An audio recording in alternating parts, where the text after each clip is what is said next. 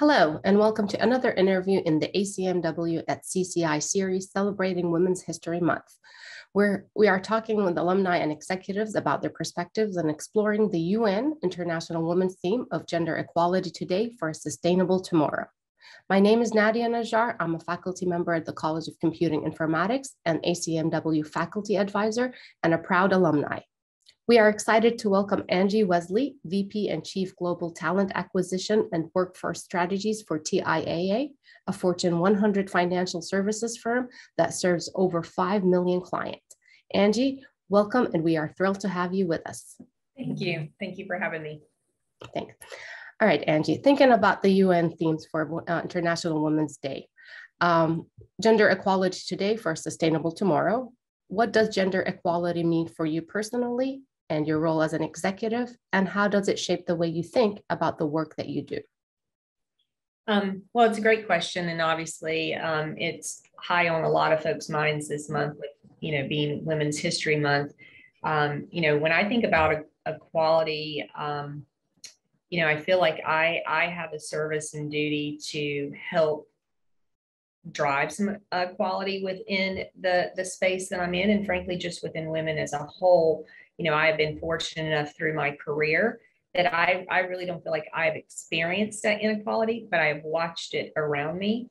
Um, and so, you know, as a leader in the in the financial services, it is really important to educate. It's really important for me to make sure that I am recognizing the bias, whether it's conscious or unconscious, when it might be occurring, um, and so I think I've become much more aware as I've gotten more senior in my role and I'm sensitive to to the factor. Um, and so as as I try to lead by example, um, I think that is the best way that we can help drive that change as well as hold people accountable. Um, sometimes there is a um, fear or thought around confrontation or addressing things such as this or even other topics that are sensitive in nature.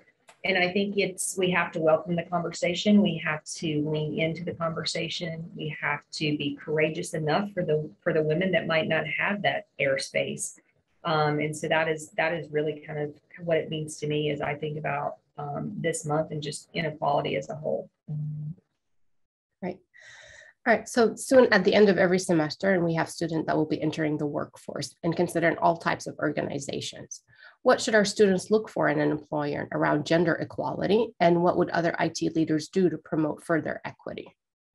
Um, so that's a great question because we know that summer is amongst us here in just a few months, and we're going to have lots of students graduating or lots of students getting internships for the summer um, you know, and what what we try to stress the most here at, at TIAA, and, and I know this is a theme with other companies that that value this topic and find it critical to drive change, is make sure that you can see yourself in that company. Make sure you see yourself like as and as simple as it is, it's in interviews. So when you're interviewing, are you seeing other women? Are other women talking to you about the opportunity?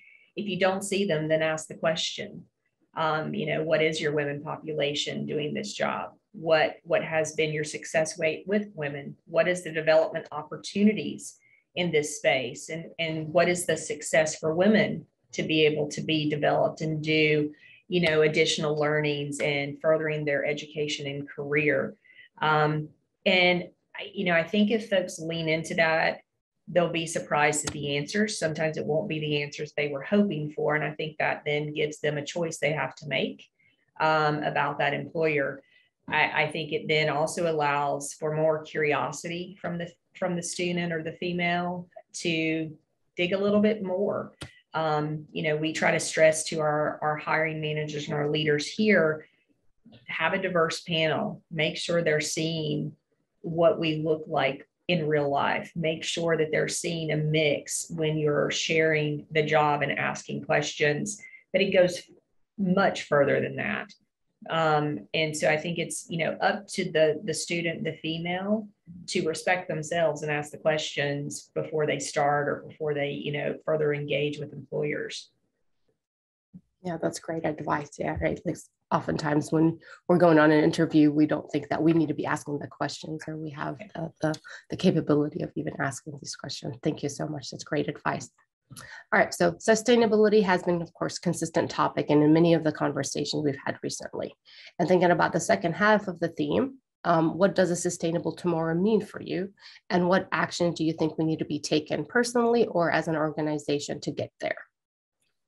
Um, well, I think, you know, all women, we, we, we, we have um, a duty to help each other and support each other, um, not condemn each other, not cast judgment. All of us are in different places in our life, in our careers, whatever it might be. And so I think us propping each other up, that is how we're going to sustain, sustain or we're going to continue to kind of crack the foundation at its core.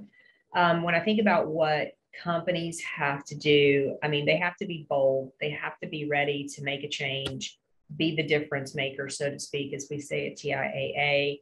I mean, in some cases, get out of their norm, you know, get a little uncomfortable.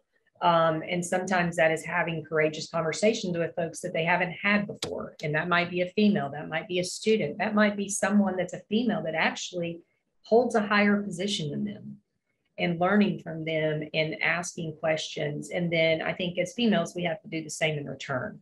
Um, you know, statistics tell the story where, you know, at least in my my space, it's data driven. We know there's inequality. We know, you know, females make on average 30% less.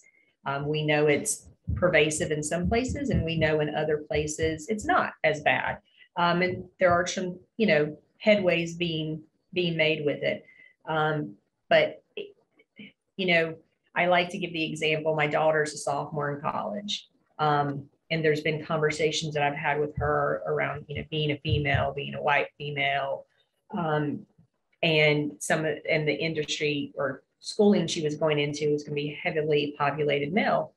And it, I find it with that generation, almost diversity and this inequality doesn't exist for them in a lot of ways. Like they just don't see it. It's all, it's all equal. It's all fair, you know, and, and so that's refreshing that we've got that population that thinks about it like that. And we're seeing that shift of it doesn't matter maker color gender or ability or whatever um, and so i'm hopeful with that generation that they can kind of continue to chip away and overcome some of these things that we have been stuck in for so long here um, but at the same time i try to have help her understand the reality she's going to face um, and how do you then use your voice to address that how do we then challenge companies to be different so I think it, it's going to be um, continue to be a long road. I love to see the continued momentum that this is getting globally.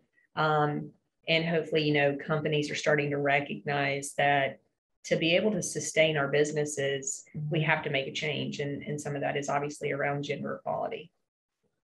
Absolutely. I think one of the, for me personally, one of the probably the best advice I've ever heard or got is avoid comfort, right? So yeah. always, yeah. So. All right. So as we all know, the hard work begins at home. So how can the College of Computing and Informatics partner with the community and including your organization to achieve gender equality for a sustainable tomorrow? Well, um, first and foremost, you know, uh, UNC Charlotte is one of our top schools for our early talent. Um, it's one of our leading schools to where we bring interns um, and even our rotational. So coming into a rotational learning program after you graduate. So um, we are big fans of UNC Charlotte, obviously. Um, and we have got we we have lots of alumni within our company as well that are big advocates of of UNC Charlotte. And I would say when you think about the the school, um, it's it's just putting it out there. Sometimes I think this the school could wait for us potentially to make the outreach or come and say, hey, you know, let, let's talk about this or what do you need? Um, but I would say, you know, as I think about our program, I also want the schools that we have strong relationships with to tell us what they need. Like, come talk to the females, come talk to the students in general, give them that sense of what reality is going to be when you take that first job or you land, you know, day one in an internship around, you know, three uh 300 other interns or whatever it might be and 15,000 employees or or whatever it might be like let's give them some real world experience as well as reality scenarios that they might face. And then talk to them how, about how to get uncomfortable to your point how to dialogue when there's difference. Um, you know these are all kind of corporate terms so to speak but it really does mean i mean the same thing even for students. So we love to um, help provide that real world. We love to give some specifics on you know what might be needed or how they should think about it. Um, so i think it's two ways that we love to hear from schools. Well, we appreciate all the, the, the time that TIAA, you know, has spent, you know, with our students and on our campus. And um, I hear all the time from our students that they they found those these events very, very helpful in in kind of developing their, you know, their career and getting on the right path. So we definitely appreciate that.